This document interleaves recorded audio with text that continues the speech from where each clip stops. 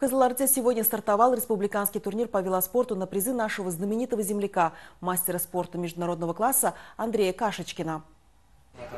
Данный турнир проводится четвертый год подряд и уже прочно вошел в спортивный календарь. В нем принимает участие 8 команд юных велогонщиков 13-14 и 15-16 лет.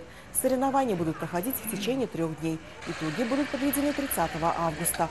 Отметим, спортсмены посвятили турнир Дню Конституции. В программе индивидуальные гонки по Жесказганской трассе на 20 километров среди юношей и 15 километров среди девушек. Групповые на 35 километров среди юношей и 20 среди девушек. Завершится турнир гонками «Критериум».